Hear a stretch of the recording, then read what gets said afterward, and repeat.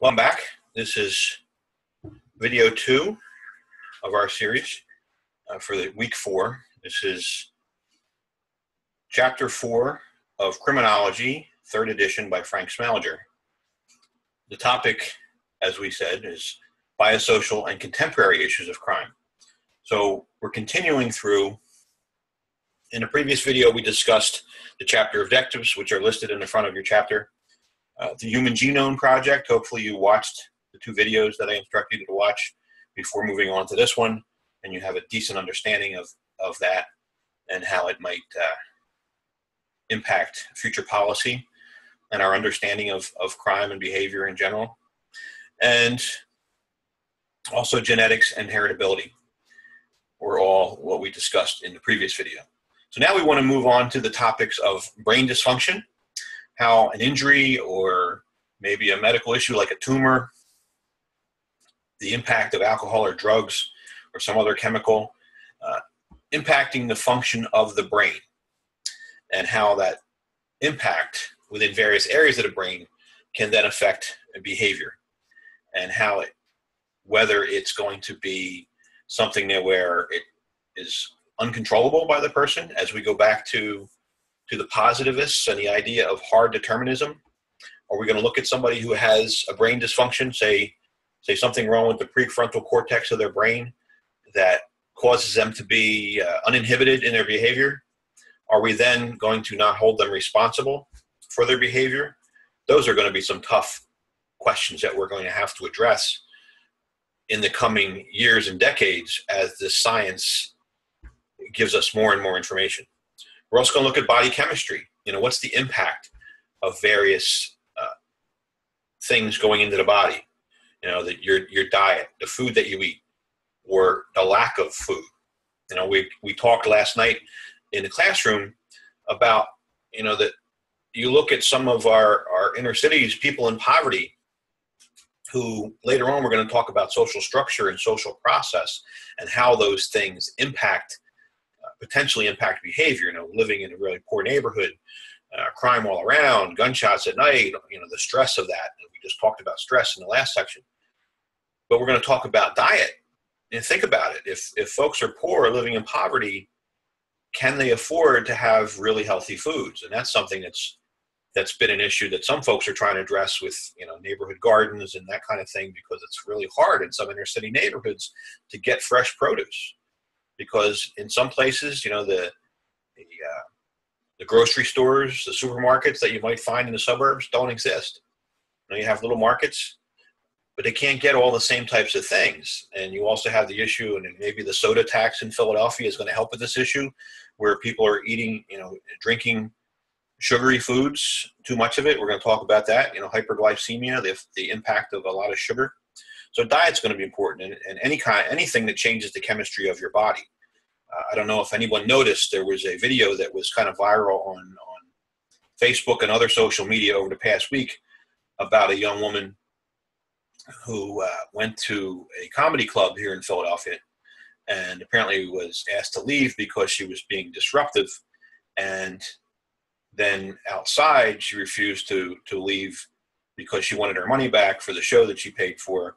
That she's not getting to see the whole thing, and she was going off berating a police officer that was out there and all kinds of things. And now she's saying she she knows there was some kind of thing going on, but she doesn't remember what it was, and she thinks that maybe maybe she was drugged by someone. And I, I believe, from what I could gather from the video, she was there for, with her boyfriend. So I don't know who would have drugged him, drugged her.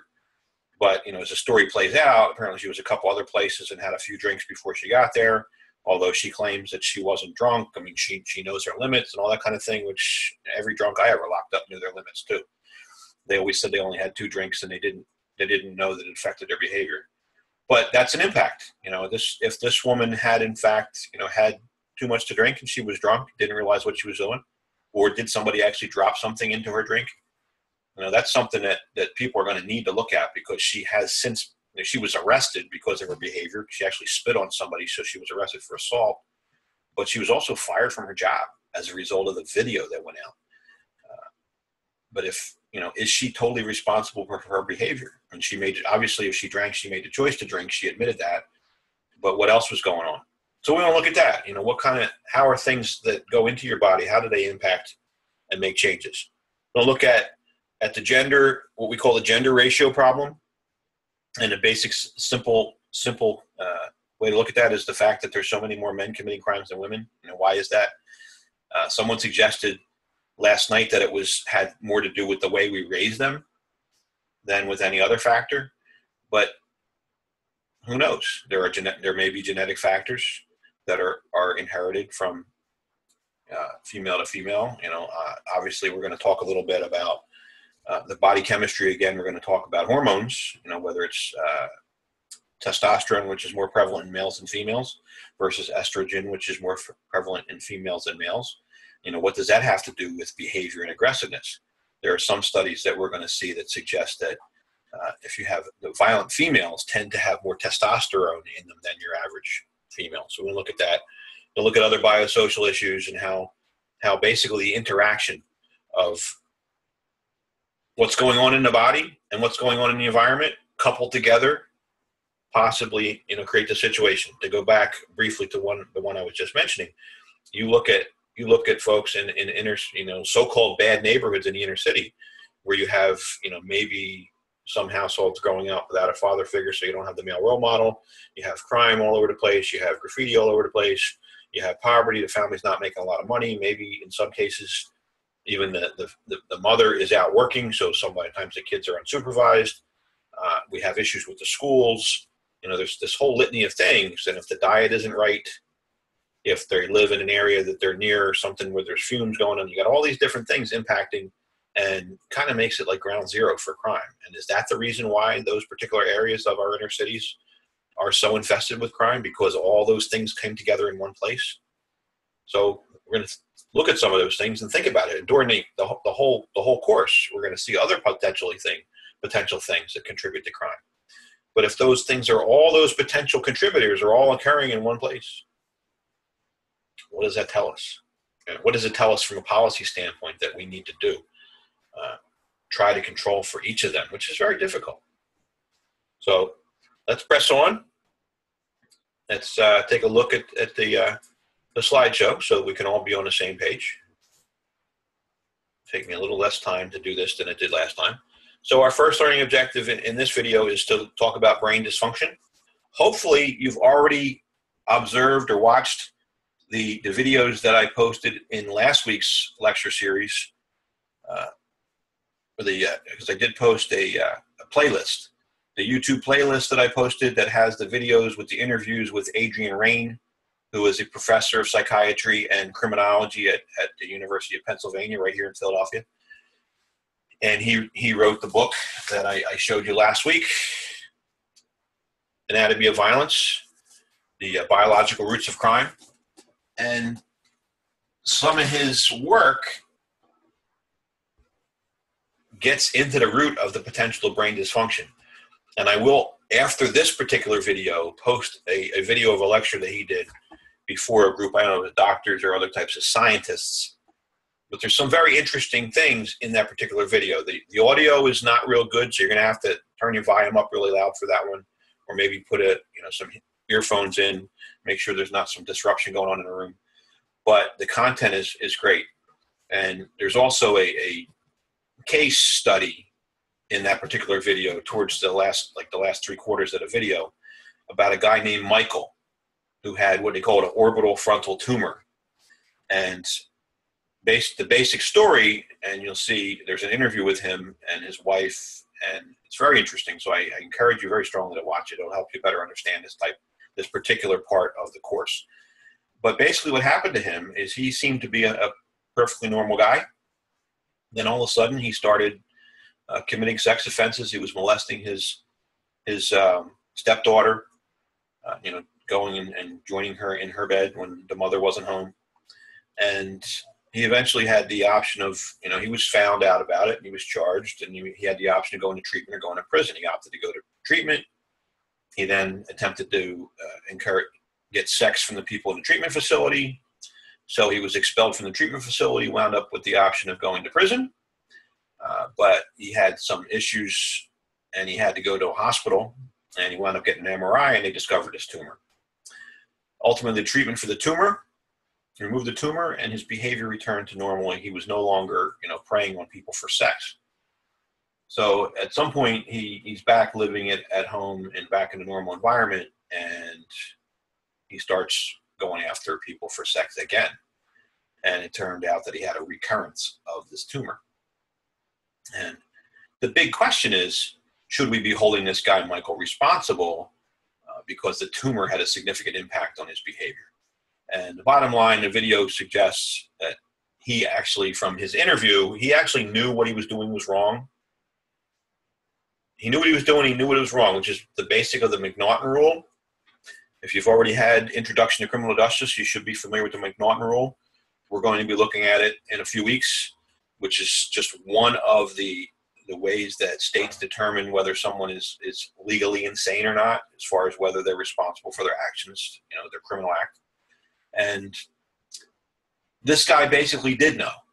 So he should be held responsible or accountable. But going forward, if a person with this brain dysfunction is more likely to commit a crime than someone who doesn't have it, should we hold them both to the same level of responsibility? That's a key question that we're going to have to be looking at in the future. So, what about this brain dysfunction thing?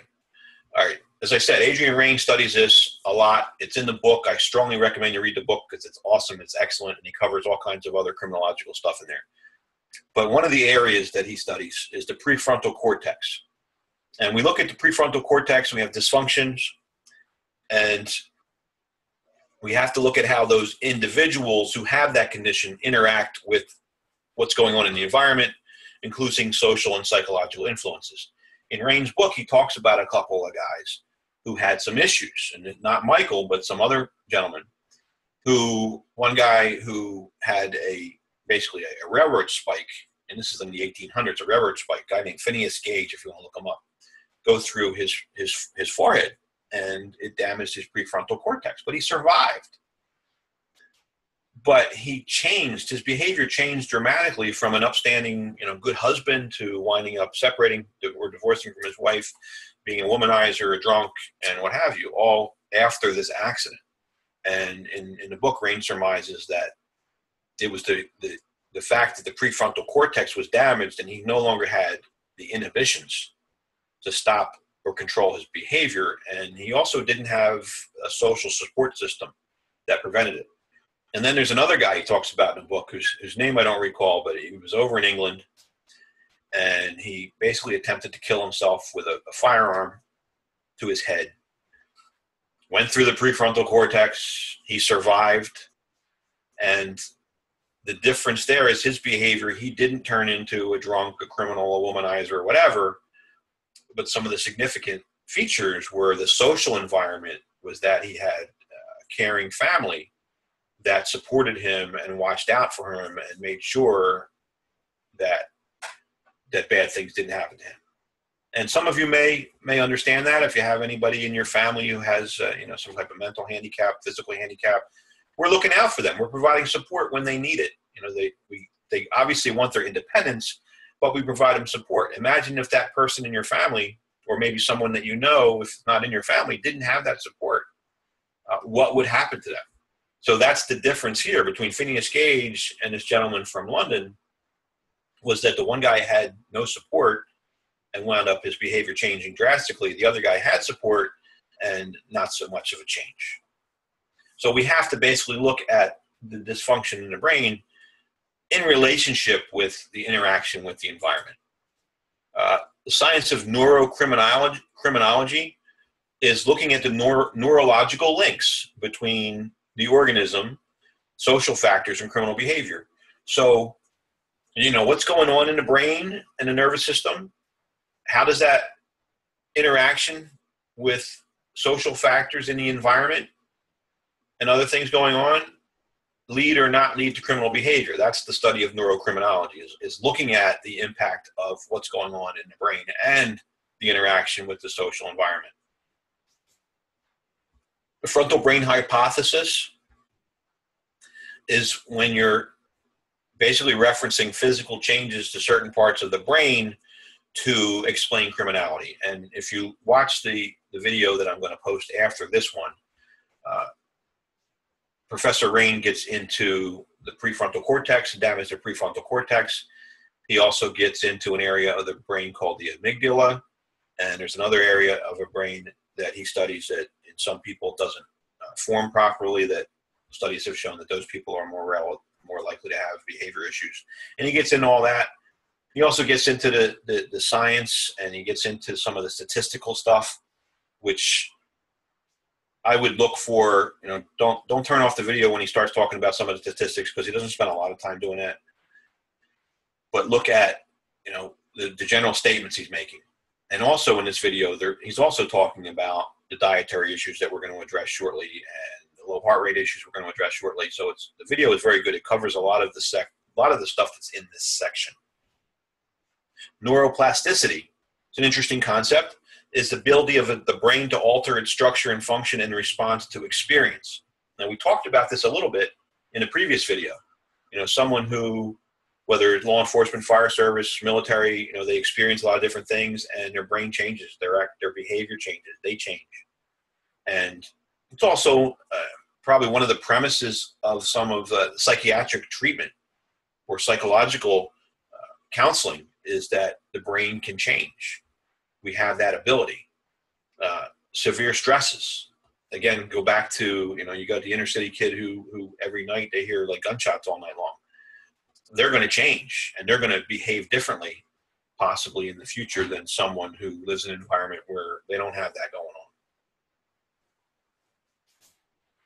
Some suggest that the interplay between heredity, biology, and social and physical environments may be much more complicated than once thought but maybe it's the key nexus in any consideration of crime causation. Well, what does that mean? It basically means what we're saying is you have a whole lot of different factors. You know, what came up, what's in your DNA, what's in your brain, your biology, what illnesses do you have? Do you have a tumor in the brain that's that's impacting the prefrontal cortex? What what where do you live? Do you live in in, in a in a nasty section of North Philly? Are you living in Kensington, right next to where you know that that area where where all the uh, the opioid issues going on? Do you live out in Villanova in a nice neighborhood? Do you live in the suburbs of Jersey? Are you living in Camden City? You know, where are you? That's that social environment, and even even in the neighborhoods, you know, people have various issues going on, and you could have people living in a in a bad neighborhood but have a very strong supportive family Whereas you might have someone who's living in a, in a really nice neighborhood that is being beat every day. So even within neighborhoods, you have different social engagement. But the issue is, is all of these things interplay with each other and interact with each other, and ultimately could lead to to various types of behavior like crime.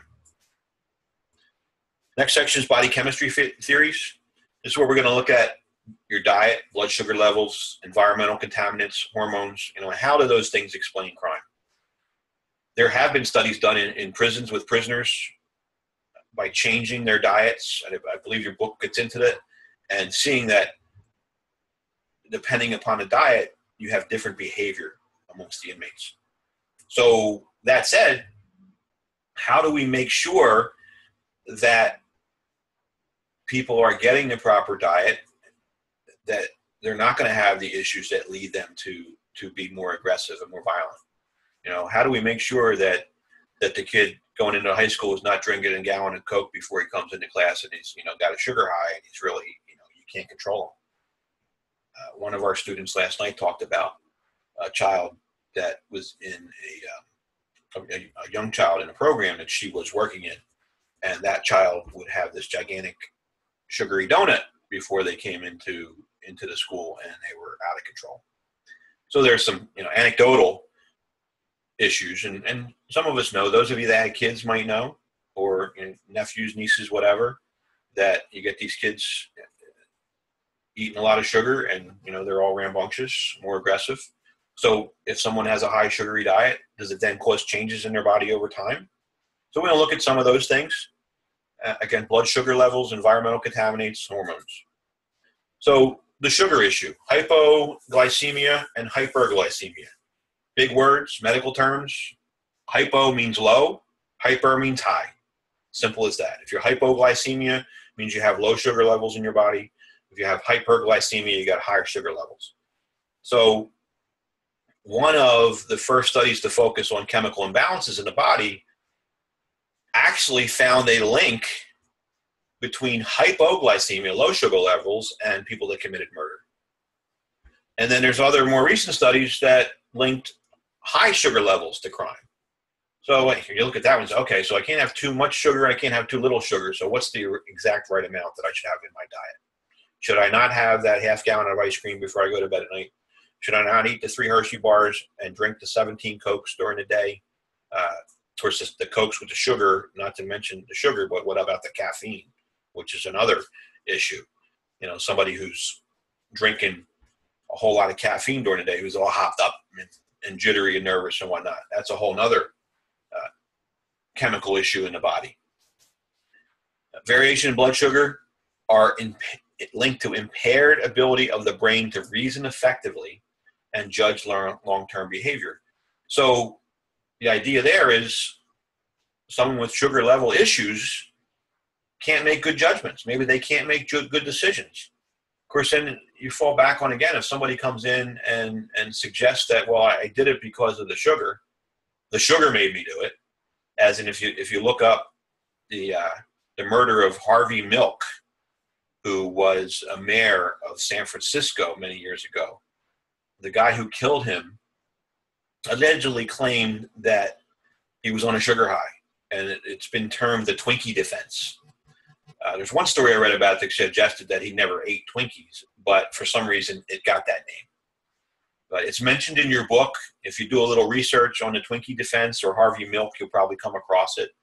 Uh, but the basic premise is there are studies that show that there could be links between sugar, whether it's too high or too low, and people's ability to to judge and reason, make good decisions. Some studies have suggested that certain food additives change behavior, which is why you know one thing besides the health issues, uh, you know whether it's cancer causing issues or whatever, you know there's there's some studies that suggest that some of the additives that, that you have in your food may cause uh, behavioral issues and wonder about it. If you're wondering about it, just just look at any any food that you might have available to you. So and see all the different things in it, and you might wonder, well, what is that? So, like, say I, I look at a stick of gum that I have here, and it says, uh, "Wow, that's interesting." It says produced with genetic engineering. It says made of sugar, gum base, corn syrup, less uh, natural flavors, less than two percent of glycerol, soy lecithin, color added, acesulfame K, hydroxa something lecithin, aspartame, which is a sweetener, uh, phenylketoronics. There's all kinds of stuff in here that I can't even pronounce, let alone tell you what it does. And that's just in a stick of gum. So there's and there's additives unless unless you're one of those people who's who's buying it at like Whole Foods or something like that. Pretty much a lot of the foods that we get have all kinds of additives. And even go back to the sugar issues. If you're buying from the local grocery store and you're getting this, you know, the bag of chips, maybe too much sugar, too much salt, not only is it going to make you maybe a little bit too large in the belly or your hips or your butt or whatever, but maybe it's going to affect the brain as well. So it's something that we that we really got to look at. There's other studies that also show that people that are having that don't have uh, sufficient vitamins in their diet. In other words, their diet is deficient in vitamins. What deficient means they don't have enough. They don't have the right vitamins and other nutrients can also increase aggressiveness and agitation, open a door to crime. So again, we look at, you know, we look at families that don't have sufficient money to put the right food on the table, or we look at people that are not making good diet dietetic choices. Not only are they affecting their their long term health, but maybe they're affecting their brain and their uh, status as a criminal as well, or their behavior.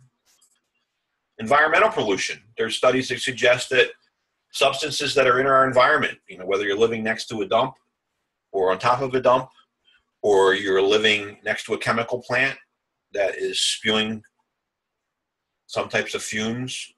You know, maybe there's smoke, maybe there's fumes from various chemicals, and periodically they have leaks. Uh, maybe even you know a nuclear plant all these things in our environment we somehow get exposed to.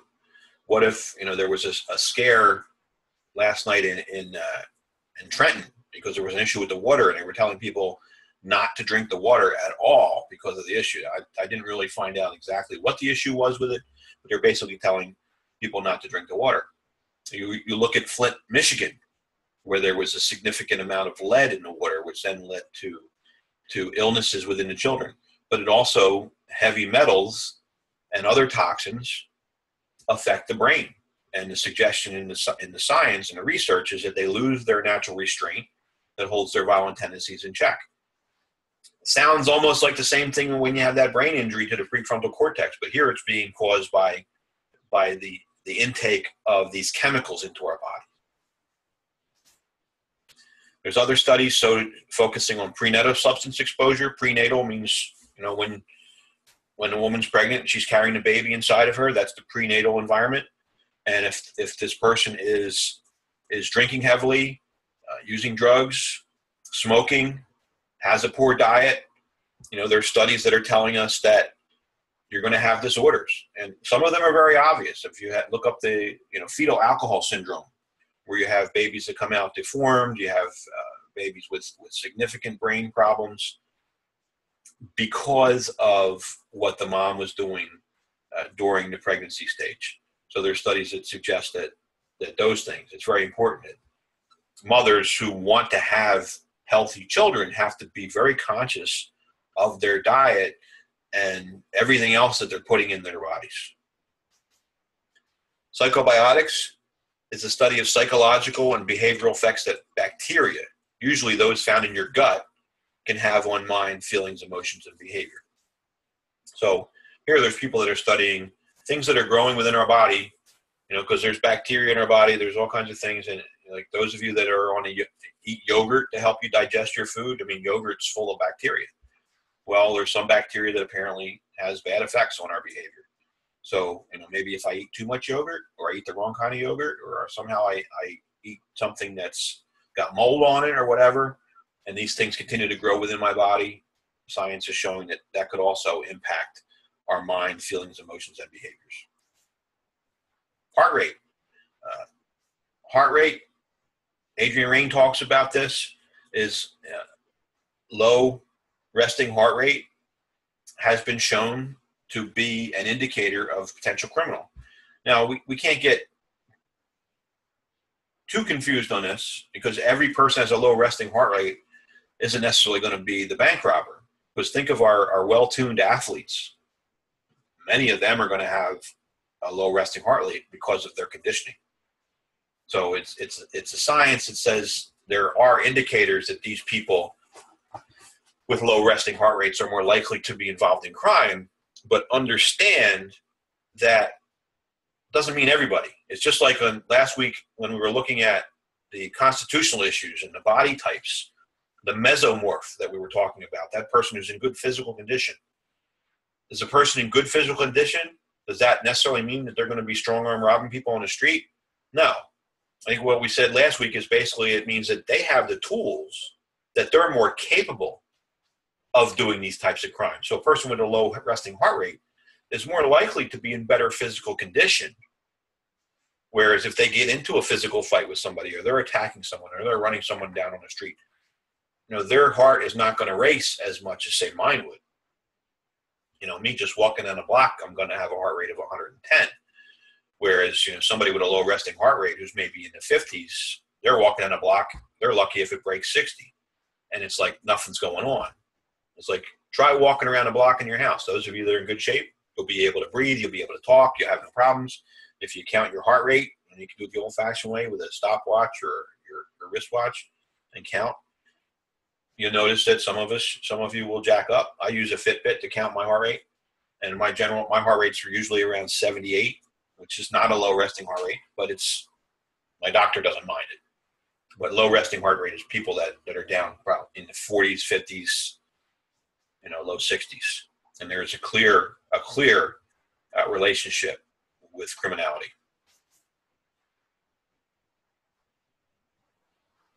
The interesting thing is it's it's related to males but not females. But again, you're going to find it in in well-conditioned athletes as well. And there's nobody out there that's saying that athletic conditioning plays a role in crime causation. So there's nobody suggesting that if you go to the gym and you work out regularly and you bring your heart rate down, that you're causing crime. It's just that there is a clear linkage between that low resting heart rate and crime. So again, you go. The issue is, well, what's the difference between this guy with a low resting heart rate and this guy over here with a low resting heart rate? This guy became a football star, and this guy became a bank robber, and he's in prison. There's got to be something else going on, right? And that's that's what this is all about.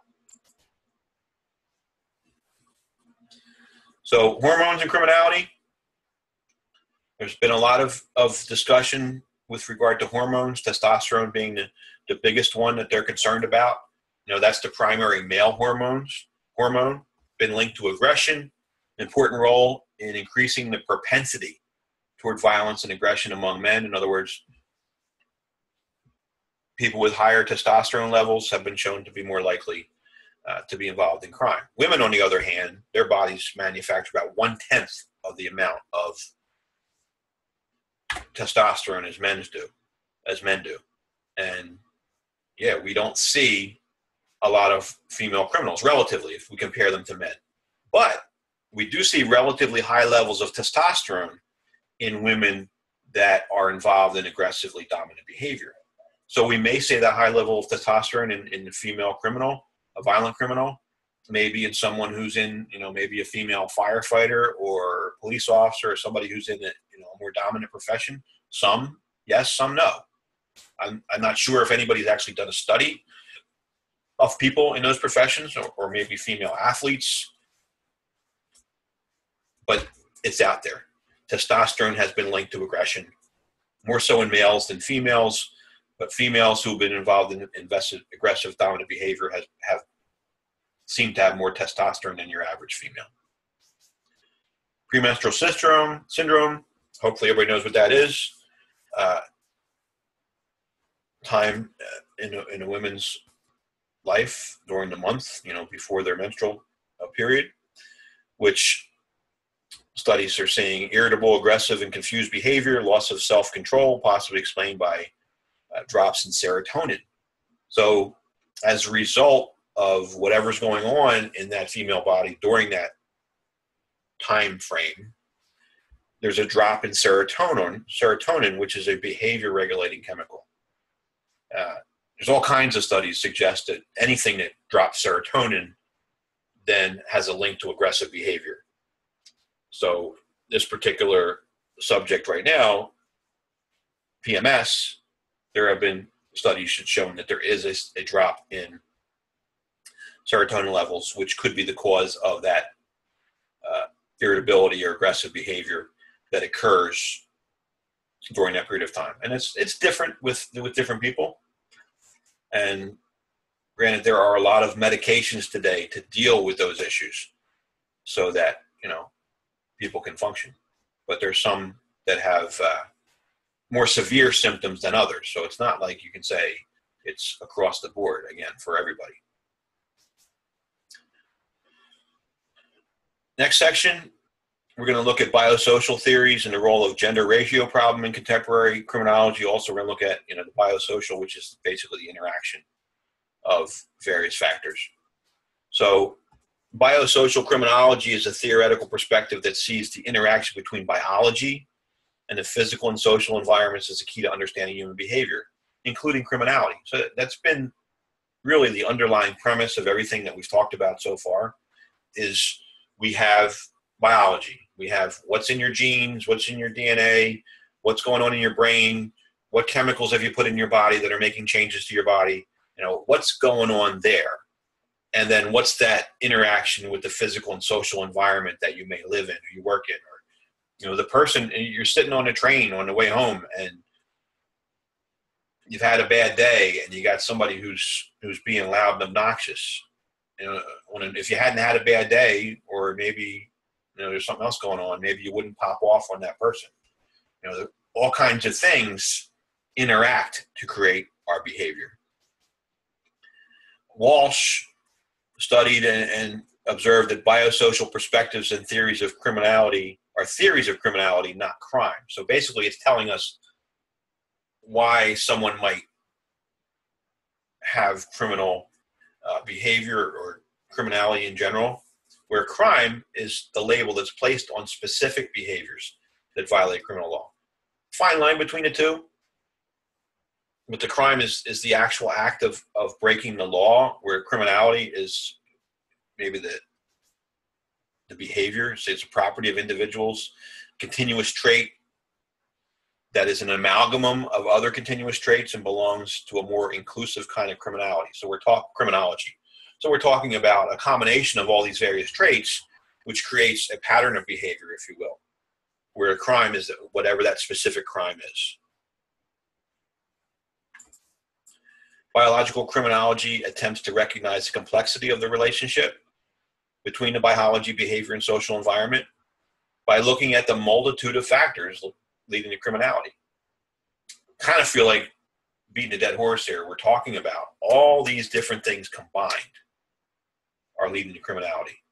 And what we really want to do with the biological, biosocial criminology, crimin- criminology is try to identify those things that are more likely to lead to crime with the influence of other factors and do what we can to control those factors so that that doesn't happen. Which factors are we going to control? We're going to control the bio, biological factors, like removing the tumor and then making sure that that tumor doesn't come back. Come back, or we're going to figure out what's the what's the other issue. Why is it that a particular person behaves a certain way when they are uh, uninhibited? why did Michael, who you're going to watch in the video following this, why did he sexually assault his his uh, stepdaughter when he was uninhibited? I mean, is that a normal thing?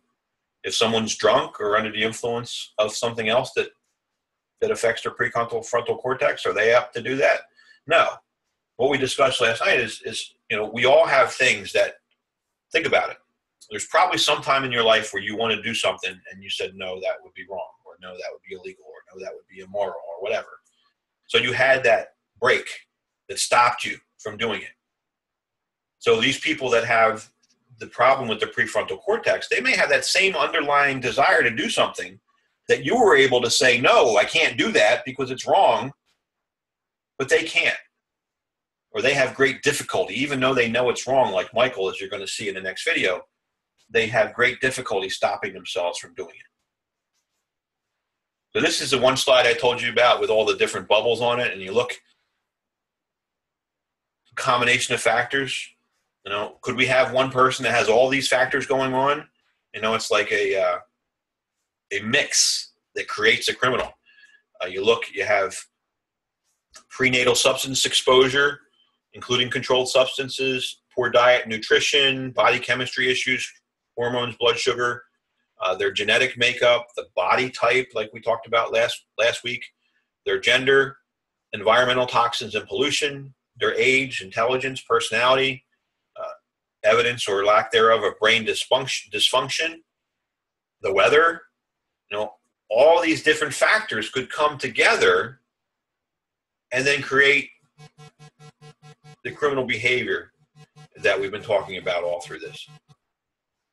And not like you're going to find somebody that has every single one of these issues going on, but it could be that a combination of, of one or two of them together results in criminality. Gender differences. So, the beginning of this section talked about the gender uh, ratio problem.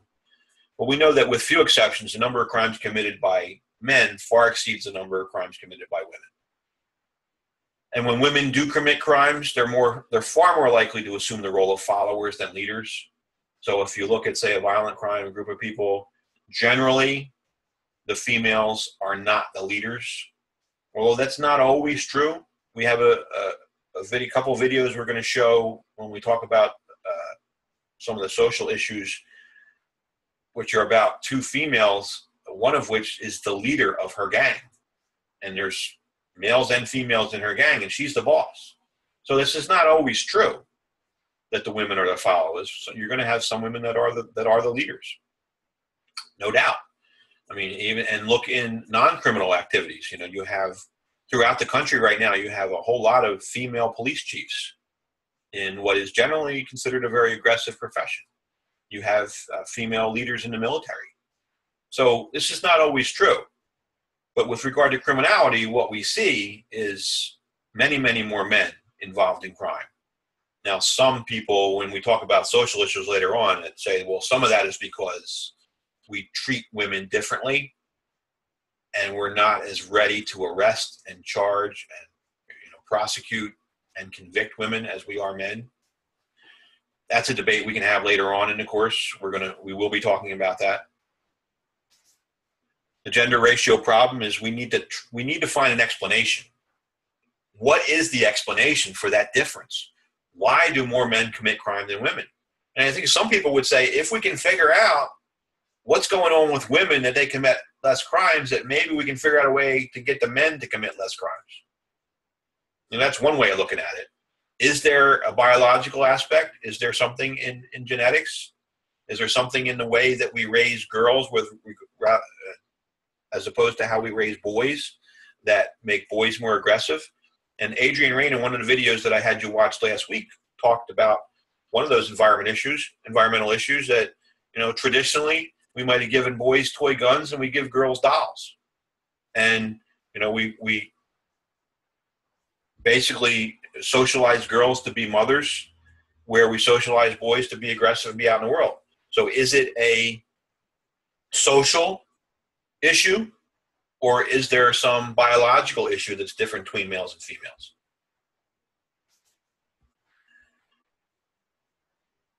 The other thing is is sexual selection.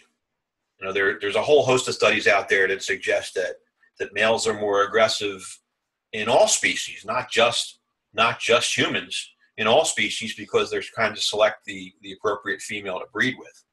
And you've probably seen videos if you watch Animal Planet or you've watched, you know, Lion Kingdom or whatever that show used to be on, where you would see videos of of males fighting, whether it's a rhinoceros or lions fighting over the female that they are going to later breed with.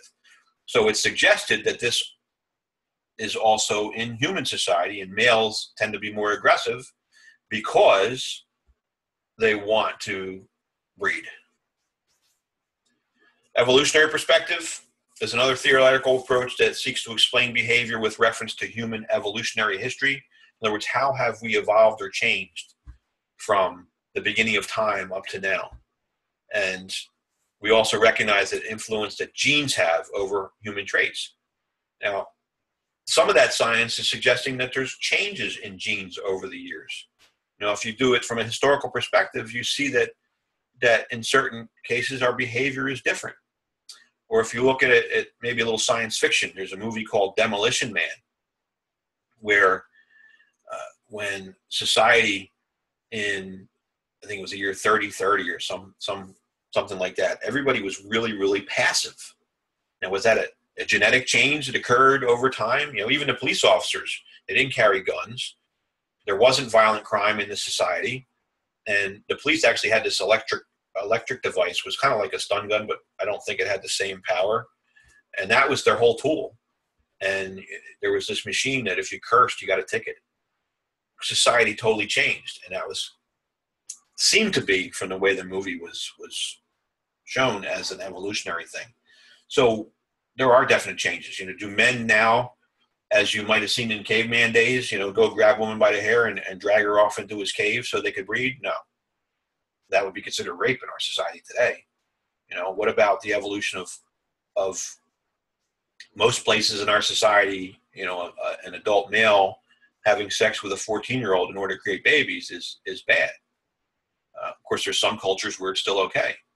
Uh, if you followed the Kaplan trial recently, where you had this this guy who had uh, nine young girls gifted to him, uh, the youngest of which is now 19, but this occurred 10 years ago, so the girl was like like eight or nine, and he actually had two babies with this woman, this young girl.